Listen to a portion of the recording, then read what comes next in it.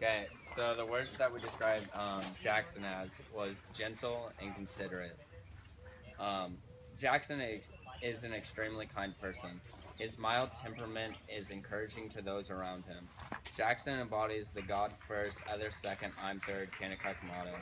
He holds others, people's circumstance in a high regard, and he puts others' needs before his own. Um, and the verse that we picked for Jackson was Ephesians 4:32.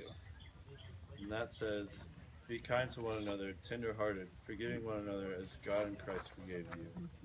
Um, and we're presenting Jackson with the I'm Third award, which uh, means that Jackson put God first, others second, and himself third. Uh, and the verse on here is Matthew 22, 37 to 39.